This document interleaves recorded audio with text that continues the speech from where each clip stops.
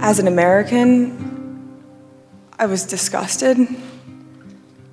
It was unpatriotic. It was un-American. We were watching the Capitol building get defaced over a lie. Como uma americana, eu estava com nojo. Foi um ato antipatriótico. Nós estávamos assistindo ao prédio do Capitólio ser desfigurado por uma mentira. Essa frase é de Cassidy Hutchinson, uma das auxiliares mais próximas de Donald Trump, quando o Congresso dos Estados Unidos foi invadido com o objetivo de impedir a nomeação de Joe Biden. Ela prestou um depoimento bombástico aos parlamentares americanos na semana passada.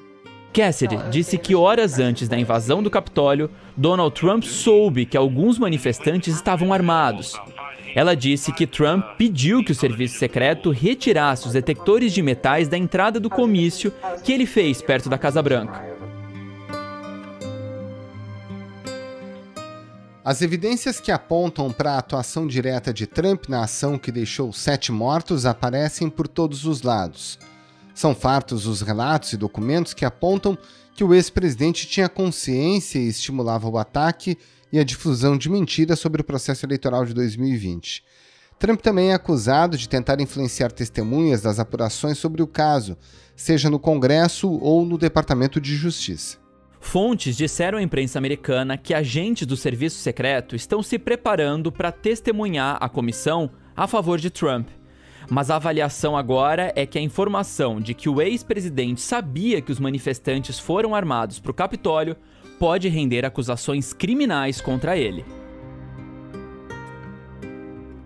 Mesmo assim, o republicano nesse momento está apto a participar das próximas eleições e se a disputa fosse hoje, o ex-presidente teria enormes chances de voltar à Casa Branca. Who knows? I may even decide to beat them for a third time, okay? Afinal, qual é a situação jurídica do ex-presidente americano e quais são as chances de ele ser impedido de concorrer novamente à Casa Branca? O que move os congressistas e eleitores do Partido Republicano a se manterem fiéis ao trumpismo, apesar dessas evidências?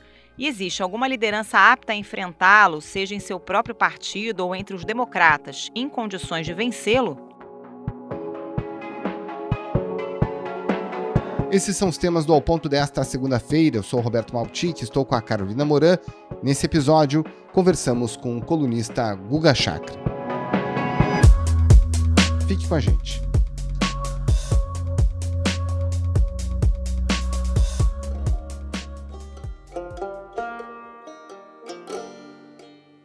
Guga Chakra, as investigações sobre a invasão do Capitólio né, no dia 6 de janeiro do ano passado, elas correm em diferentes frentes, né? E tem diferentes alvos, naturalmente, os próprios manifestantes que invadiram o Capitólio. Mas agora em relação ao ex-presidente Trump, né? O que existe é uma investigação do Departamento de Justiça dos Estados Unidos e uma outra apuração da Comissão da Câmara dos Deputados, né?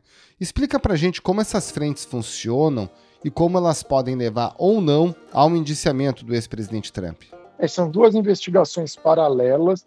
O Departamento de Justiça investiga a invasão como um todo, inclusive vários dos invasores, que todos nós vimos né, naquele dia fatídico de 6 de janeiro de 2021, alguns já foram presos, inclusive, outros estão sendo processados.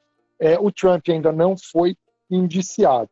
Já na Câmara, é uma investigação, uma espécie de CPI do Brasil, vamos colocar assim: é uma comissão parlamentar de investigação é, que tem entre seus membros quase todos democratas e alguns poucos republicanos, como a Liz Cheney, é, mas são muito poucos, grande parte do Partido Republicano boicotou. Só que a, a investigação na Câmara avançou bastante, especificamente contra o ex-presidente Trump. É, como a gente tem acompanhado nessas audiências, uma série de evidências já foram apresentadas que podem levar é, o ex-presidente a ser indiciado. Mas quem decide pelo indiciamento do Trump é o que se chama de Attorney General, que é o Procurador-Geral de Justiça dos Estados Unidos, mas também acumularia, no Brasil seria uma mistura de procurador-geral com o Ministério da Justiça, né, que é o Garland. É, ele seria o responsável por tomar essa decisão. Bom, é, ao que tudo indica, É, há depoimentos que acusam o Trump de que ele sabia que tinha armas, ele nega. É, é armas entre é, os invasores, o ex-presidente nega é, que soubesse, ele nega que ele quisesse invadir também, embora haja depoimentos nesse sentido. We're going to walk down and I'll be there with you. We're going to walk down. We're going to walk down anyone you want, but I think right here we're going to walk down to the Capitol.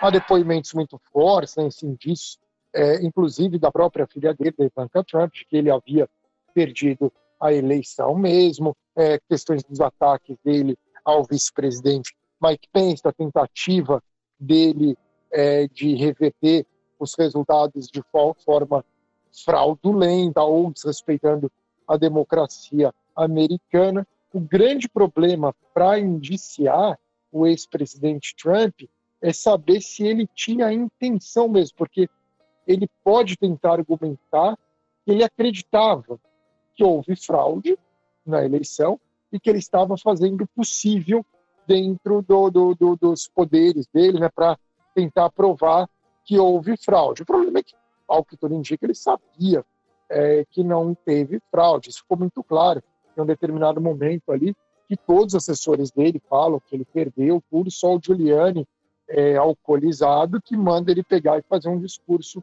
é, da vitória. Então, é, é complicado, mas vai caber, claro, no final, ao Departamento de Justiça tomar essa decisão de indiciá-lo. E aí tem um processo, ele, claro, vai ter todo o direito é, à defesa caso ele venha a ser indiciado. A gente não sabe, um, se ele será indiciado, e dois, uma vez indiciado, se ele será condenado. Essas, essas são questões ainda que, que a gente vai ter é, que aguardar nas próximas semanas é, ou meses para quando tiver essa decisão do Departamento de Justiça. O que, que, pesa nesse momento de mais grave, com indícios mais fortes contra o Trump? Tivemos aí um depoimento bombástico né, da Cassidy Hutchinson, ex-assessora da Casa Branca, dizendo que ele incitou de fato as pessoas a invadirem o Capitólio sabendo que tinha gente armada ali no meio. E o Trump agora está sendo acusado, inclusive, de interferir no processo, né? Seja coagindo testemunhas ou até mesmo pagando pela defesa jurídica das testemunhas. É, isso daí seria uma coisa paralela, isso pode ser grave, pode ter consequências jurídicas para ele. O depoimento da Kathy Hutchinson, é, ela, ela depois, né, é, sob juramento, né, se ela mentiu, ela terá cometido um crime, mas já tem uma das coisas que ter sido mentira, porque ela deixou muito clara no depoimento, que disseram para ela que o Trump tentou pegar o volante da limusine presidencial e teria até tentado agredir é, uma pessoa do serviço secreto. A, a, não, é, pessoas anônimas do serviço secreto que negam que isso tenha ocorrido, talvez elas sejam chamadas é, para depor, mas deixando claro que, que a depoente é, falou que tinham dito isso para ela, mas ela falou outras questões, que daí ela ouviu do Trump querer voltar lá, é, invadir é, o Capitólio junto com os seguidores dele, mas não foi só isso, também é, tem as pressões sobre o Mike Pence, as pressões no Departamento de Justiça sobre é, também as autoridades eleitorais estaduais, há uma série de, de, de evidências contra o Trump cabe ao Departamento de Justiça decidir, porque é, é, é, não é algo simples. Ele é um ex-presidente da República, ele tem condições de voltar para a Casa Branca. Então, é um cenário assim que é, a Justiça vai tomar o maior cuidado possível. Claro que a comissão no, no Congresso, na Câmara dos Deputados, é diferente, que daí envolve política, mas a Justiça é, vai tomar esse cuidado, porque ele é um ex-presidente, eles não podem é, cometer erros ao longo desse processo. Guga, enquanto a gente está falando do Trump, a Suprema Corte dos Estados Unidos está empenhada num verdadeiro pacote conservador, né? Direito a aborto suprimido, direito à livre circulação de armas estimulado. Esse caso do Trump pode eventualmente chegar à Suprema Corte e aí esse peso ideológico acabar favorecendo a ele? Não sei se chegaria diretamente à Suprema Corte, porque não fica claro que se, se seria uma coisa é, é, constitucional. Mas, dito isso, não, não, não necessariamente envolve uma questão é, ideológica. É importante deixar claro que que não necessariamente os membros da Suprema Corte, os conservadores, sejam trumpistas. Isso é, é importante ter em mente. Eles são conservadores no sentido, é, talvez eles sejam, mas eles são conservadores no sentido jurídico é, da palavra. Eles são originalistas. O que, que é um originalista? Um originalista é que interpreta a Constituição da forma como ela foi escrita é, pelos framers, né, pelas pessoas que redigiram a Constituição americana mais de dois séculos atrás. Então, é, os originalistas, por exemplo, na questão do aborto, que é mais é, simples de se observar. A Suprema Corte dos Estados Unidos suspendeu hoje o direito constitucional ao aborto, que tinha sido assegurado há quase 50 anos. É, é, na questão do aborto, eles argumentam que, como o aborto não está previsto na Constituição americana, cabe aos estados decidirem é, pela legislação referente ao aborto. Por exemplo, Nova York é, vai colocar na Constituição Estadual que o aborto é, é legalizado aqui na, no estado de Nova York. No caso do Trump, não necessariamente eles votariam, caso o Trump venha a ser condenado, não necessariamente eles votariam para inocentar o ex-presidente Trump. Vai depender de questões é, jurídicas é, para a maior parte deles, ou para a totalidade deles.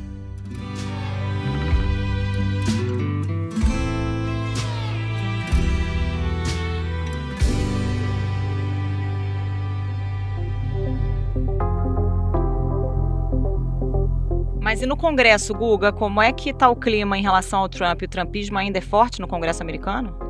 No Congresso, no Partido Republicano, o trumpismo é, sim, muito forte, muito dominante ainda dentro do Partido Republicano. É a corrente que é majoritária, não que todos os republicanos sejam trumpistas, há governadores, especialmente, que mantêm uma postura ou de distanciamento do, do, do Trump, evitam atrito, mas mantêm é, uma distância, são mais conservadores tradicionais. Alguns poucos políticos republicanos, dá para contar nos dedos, Mitt Romney, Alice Cheney, batem de frente é, com o, o, presidente americano, o John Casey, que também foi candidato a presidente, foi governador de Ohio no passado, mas enfim, tem esse grupo, tem os que mantêm uma distância, como o Youngkin, governador da Virgínia, o Baker, governador da, de Massachusetts, o Larry Hogan, de Maryland, eles mantêm uma distância é, do Trump, não concordam, falam que o Biden ganhou a eleição, por exemplo, só que não, não vão ficar atacando o Trump, como Alice Cheney, por exemplo, faz, né? Chama de mentiroso e tudo. Isso já é mais caro. There are politicians in this country, beginning with Donald Trump, who have lied to the American people. E há é, um terceiro grupo, que são daqueles que sabem que o Trump é um picareta, mas que são covardes, hipócritas. A gente coloca aí o Ted Cruz, senador pelo Texas, o Marco Rubio, senador pela Flórida.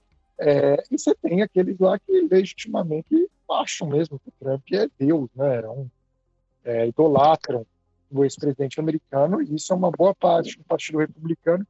Na, na, no Congresso, é claro que é, no Congresso, o maior grupo seria esse estilo Ted Cruz e Marco Rubio, né, que sabe que o Trump é picareta, é, mas é, são covardes e, hipócritas. É.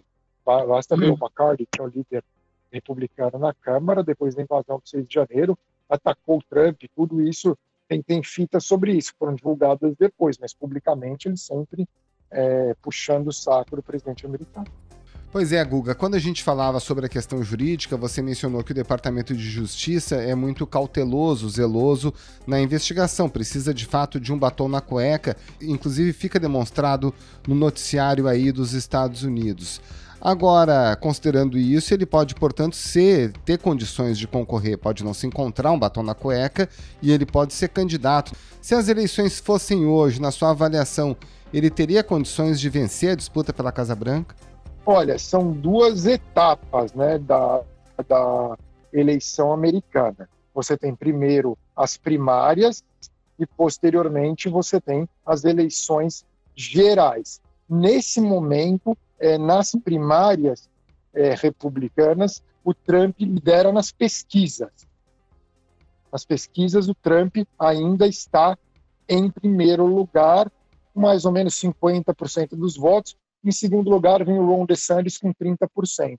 Nas bolsas de aposta, o Ron DeSantis é o favorito para ser próximo candidato republicano para a presidência dos Estados Unidos. Então, é, é, o Trump tem esse favoritismo, mas o Ron DeSantis, que é governador da Flórida, é muito é, popular lá na Flórida. A, a, o governo dele vem sendo bem avaliado.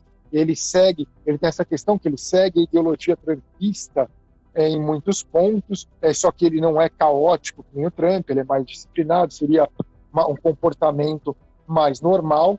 Então ele passou a ser o favorito nas bolsas de apostas. Mas é, nada impede que o Trump seja candidato e talvez ele até ganhe nas primárias. Quem ganhar a primária republicana, seja o Trump, seja o Ron DeSantis ou seja um outro candidato, Mike Pence, por exemplo, vai tentar, é muito difícil que ele ganhe, mas enfim, está aberta a porta para outras candidaturas, é, eu diria que hoje é favorito para ganhar, para ser eleito presidente dos Estados Unidos. Então, acho que o maior obstáculo para o Trump, Trump tem dois obstáculos nesse momento. Primeiro, jurídico, mais uma vez superado, ele passa a ter um grande obstáculo, que seriam nas primárias o Ron DeSantis. Eu acho que é, é, não será fácil para o Trump ganhar o DeSantis. Tem aquela questão, o Trump mudou para a Flórida elogiando o Ron DeSantis, falando que a Flórida é o melhor estado. O problema do Trump é que ele não tem por onde criticar o Ron DeSantis, o Ron DeSantis ele não não bate de frente com o Trump ideologicamente. É, a diferença dele é que ele é mais, vamos colocar assim, ele é mais competente, mais normal na implementação das políticas, com ótimos resultados da economia da Flórida para apresentar. O Trump tem ainda muita força nas redes sociais, né? E tem a Fox News, que faz propaganda trumpista. Qual é a narrativa criada por esses canais, pela Fox, para tentar justificar as revelações que estão surgindo contra o ex-presidente? O Trump em si, a pessoa dele perdeu um pouco de força nas redes sociais porque ele foi banido da administração, mas o trumpismo continua extremamente forte, né? Foi construído através das redes sociais. É uma realidade paralela, um mundo paralelo. Fox News é interessante. Tem alguns âncoras lá que são bem trumpistas, ficam entrevistando Trump, são abertamente trumpistas, essa realidade paralela. E você tem o Tucker Carlson, né, que inclusive passou a semana no Brasil, entrevistou o presidente Bolsonaro. The parallels between politics in Brazil and politics in the United States are striking to an American. Que é a principal voz do conservadorismo americano e defende a ideologia trumpista, o America First, acima de tudo, mas não dá muita bola para o Trump. Assim, ele, ele não fica falando do Trump, não critica o Trump, isso ele não faz. Mas ele é ele o Tucker Carlson. Ele se coloca talvez acima do Trump, como algo superior ao Trump, que ele se coloca como a verdadeira voz desse novo Estados Unidos, o que em parte não é tão absurdo é, ele se colocar assim, mas ele vai nessa linha que né, ideologicamente é, é, é, uma mistura, é, é, uma direita mais europeia, é, extrema direita europeia, o Tucker Carlson nesse sentido. Então é confuso, mas é essa realidade paralela que faz o Trump ainda ser visto como. Eles acham que o Biden é quase um ditador, ele é descrito como um ditador, que é algo completamente surreal. Enquanto isso, o presidente Joe Biden e a vice Kamala Harris têm problemas sérios de popularidade, né, Guga? Os democratas discutem ou têm nomes realmente fortes, capazes de assumir a frente do embate político com o trumpismo, a depender aí do resultado das investigações?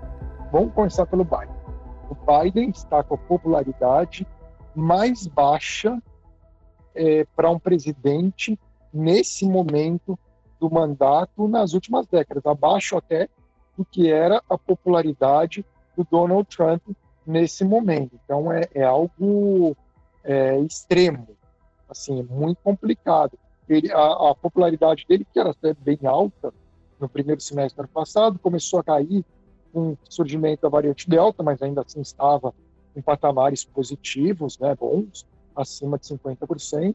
Aí veio aquele fiasco no Afeganistão, que fez a popularidade dele despencar. Os Estados Unidos reconheceram o erro trágico num ataque com um drone à capital afegã, em que três adultos e sete crianças morreram no mês passado. É, e ele nunca mais recuperou e ainda piorou um pouco por causa da inflação. Nenhum líder internacional consegue resistir à inflação. É, então, é, é, é uma situação muito grave enfrenta o presidente Joe Biden. Além disso, ele vai ter 82 anos na próxima eleição presidencial. É complicado, porque vai, vamos pensar, ele vai terminar o mandato com 86, né? Se ele for reeleito, ele terminaria com 86 segundo mandato. Então, também isso é um obstáculo grande para o Joe Biden, mas ele quer ser candidato, sim. A Kamala Harris, até agora, tem sido uma decepção. Ela vai muito ausente, ela está menos popular que o Biden, isso é impressionante, ela tem popularidade baixíssima, a Kamala Harris. Ela praticamente desapareceu, a gente não ouve falar dela. A área que ela é responsável é a imigração, está um fiasco, né? A política migratória é, do Biden, assim como foi a do Trump também. Então também ela sofre crítica por esse motivo. E ela também não aproveita as oportunidades. Quando teve a decisão da Suprema Corte sobre o aborto, imaginava-se que ela fosse fazer um daqueles discursos é, históricos, né? É, e não, nada. O discurso dela foi passou despercebido, inclusive em muitos canais de televisão na hora de fazerem, né, a, reportagem à noite nem colocavam as aspas dela. Foi algo bem apático e, e que poderia ser um momento para ela ressurgir, porque é muito complicado para ela. Aí, bom, será que vai entrar é, é, outros candidatos? Existe uma chance, sim, de outros democratas tentarem concorrer, né? Tem governadores, é, tem pessoas que disputaram outras primárias, como o Mayor Pete Buttigieg, por exemplo, mas nenhum deles, assim, é, desfruta de uma grande é, popularidade. Tem gente que até fala do retorno da Hillary Clinton, hoje em dia não dá para descartar nada, é, mas é, é, não tem ninguém, assim, que, por enquanto, possa chegar e surpreender na eleição. Mas vamos lembrar, agora eu vou só fazer um histórico aqui. É, 92, todo mundo dizia que o candidato democrata contra o Bush pai seria o, o, o Mário Goma. Ele não concorreu, porque achou que o Bush iria se reeleger depois da vitória na Guerra do Golfo. Ele preferiu esperar. Aí todo mundo achava que o Bush ia ganhar, daí um, um governador desconhecido do Arkansas entrou na disputa. Bill Clinton ganhou a eleição, foi eleito. 2000, na primária republicana, todo mundo dizia que o McCain ia ganhar, perdeu para o Bush filho. É, 2008, todo mundo dizia que ia ser Hillary contra Giuliani. Hillary pelos democratas, Giuliani pelos republicanos. Foi Obama McCain. É, 2012, diziam que o candidato republicano ia ser o Chris Christie. No final, deu Mitt Romney. É, 2016, todo mundo cravava Jeb Bush para enfrentar Hillary Clinton. Trump era visto como piada. Trump não só ganhou a primária republicana, como foi eleito presidente. E mesmo em 2020, o Biden era visto como carta fora do baralho e de repente ele foi lá na Carolina do Sul, depois de estar em quinto em New Hampshire, e acabou revertendo, foi crescendo. O pessoal falava que ia ser o Bloomberg, talvez, e tal. E o Biden foi candidato e também ganhou, surpreendeu como Trump. Então, ainda tem muito tempo para 2024, muita coisa pode acontecer. Guga Chakra, muito obrigada pela participação. Bom trabalho para você. Uma boa semana, Guga. Muito obrigado. grande abraço. Um abraço, Carol. Um abraço, Roberto. E uma boa semana a todos.